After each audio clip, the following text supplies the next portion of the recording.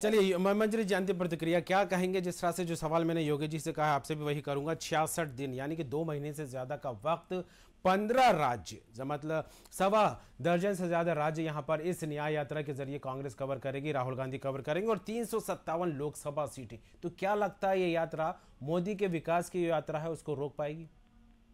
देखिए, मोदी की गारंटी के आगे ये विकास यात्रा न्याय यात्रा का कोई महत्व नहीं क्योंकि विकास यात्रा जिस तरह भारत में चल रही है मोदी जी के नेतृत्व में, मैं समझती हूँ कि इस न्याय यात्रा का कोई महत्व नहीं है, क्योंकि ये कुछ काम लेकर नहीं जा रही है। जनता के लिए इन्होंने क्या किया पिछले साठ सालों में, जो अभी योगेश जी बात कर रहे थे कि दो हज़ार चौदह के पहले भारत कहता था कि जहाँ छोटे से छोटे शहर में भी हम अपने आप को सुरक्षित महसूस नहीं करते थे, कहीं भी आतंकी घटनाएँ घट करती थी, कहीं भी बॉम्ब ब्लास्ट हो जाया करते थे कश्मीर से आए दिन पत्थरबाजी हुआ करती थी सेना के ऊपर। और आप शांति की बात कर रहे हैं।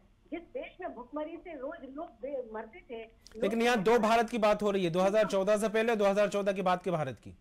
वही बात कर रही हूँ। 2014 के पहले और 2014 के बाद के हमने भारत में तेरह करोड़ लोगों को गरीबी रेखा से ऊपर लेकर गए दो हज़ार चौदह के पहले लोग भूख से मर जाने थे। ये भुखमरी की बात कर रहे हैं। हम अस्सी करोड़ हम अस्सी करोड़ लोगों के लिए दे रहे हैं हम वो हम आप सुनिए योगेश जी सुनने की क्षमता रखिए आप आ, देश को लूटने और खरोच करने के सिवा आपने कुछ नहीं किया।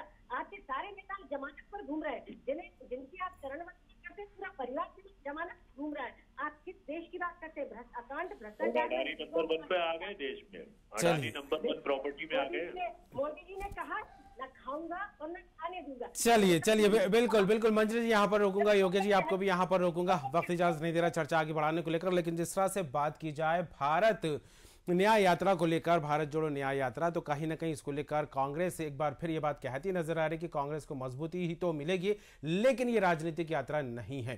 फ़िलहाल दोनों ही मेहमान, मजरी जैन जी और योगेश यादव जी बहुत बहुत शुक्रिया चर्चा में भाग लेने को लेकर। तो कुल मिलाकर देखा जाए तो भारत, राहुल गांधी की भारत जोड़ो न्याय यात्रा को लेकर अब सियासत तेज होती नज़र आने लगी है। लेकिन कहीं ना कहीं मुद्दों को लेकर कांग्रेस भी मुखर है और जिस तरह से देखा जाए तो जो भारत जोड़ो न्याय यात्रा, उसको कहीं ना कहीं राम मंदिर के प्राण प्रतिष्ठा कार्यक्रम से भी जोड़कर देखा जा रहा है, क्योंकि जो कयास लग रहे हैं, जो चर्चाएँ वो यही है कि राम मंदिर जैसे बड़े और भव्य कार्यक्रम के प्रभाव में न होने का भी एक बड़ा संदेश ये यात्रा देगी, क्योंकि सभी कांग्रेस के जितने भी दिग्गज नेता हैं, वो यात्रा में व्यस्त होंगे और बाईस जनवरी को जो है प्राण प्रतिष्ठा का भव्य कार्यक्रम अयोध्या में आयोजित होने जा रहा है। लेकिन जिस तरह से देखा जाए, जो क्षेत्र कवर कर रही है बनिया राहुल गांधी की यात्रा कहीं ना कहीं लोकसभा चुनाव से उसको देखा जा रहा है। अब फ़िलहाल इसका असर कितना होगा? नफरत के बाज़ार में मोहब्बत की दुकान चलेगी या फिर जिस तरह से बीजेपी इसको लेकर तंज कस्ती नज़र आ रही है, उसका ज़्यादा असर यहाँ पर देखने को मिलेगा। इस चर्चा में इतना ही, देखते रहिए न्यूज़ वर्ल्ड